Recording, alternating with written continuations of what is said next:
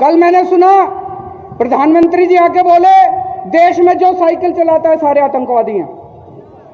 मैं जितने साइकिल चलाने वाले हैं, भाई साहब, ये गरीबों के ऊपर चोट है। गरीबों को, सारे गरीबों को प्रधानमंत्री जी आतंकवादी बोल रहे हैं। जितने साइकिल चलाते हैं, सारे साइकिल चलाने वाले, जब बटन दबाने जाओ तो बता देना, बीजेपी वाले आतंकवादी हैं कि साइकिल चलाने वाले आतंकवादी हैं।